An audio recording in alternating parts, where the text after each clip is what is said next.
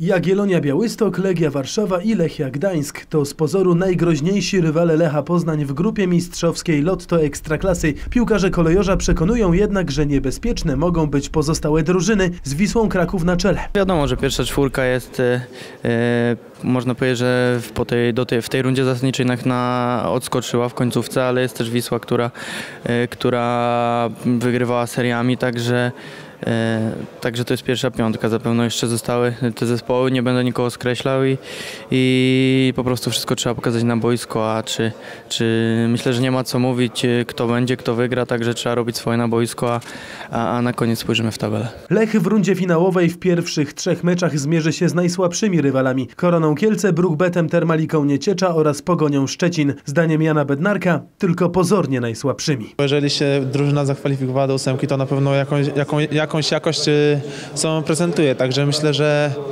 że ważne jest to, byśmy patrzyli na siebie, byśmy grali jak najlepiej potrafimy i, i na tym się skupiamy. Tak naprawdę myślę, że jeżeli my będziemy grali tak, y, jak potrafimy grać najlepiej, to, to nikt nam nie przeszkodzi w tym, żebyśmy zdobyli i Puchar i Mistrzostwo Polskie. Rzućmy okiem na tabelę Lotto Ekstraklasy po rundzie zasadniczej i po podziale punktów. Ścisk jest ogromny. Walka o tytuł czy miejsca premiowane grą w pucharach zapowiada się fascynująco. W tej rundzie zasadniczej też e, można powiedzieć mieszało się w czołówce, co, co dwie, trzy kolejki.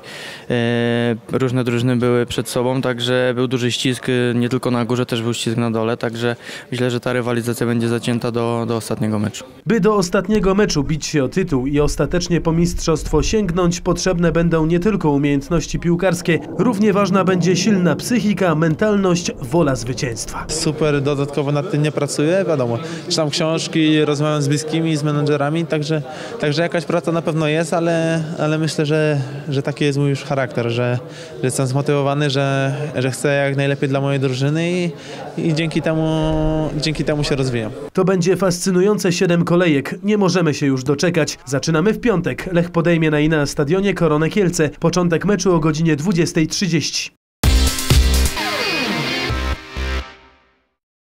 STS Zakłady Bukmacherskie, sponsorem strategicznym Lecha Poznań.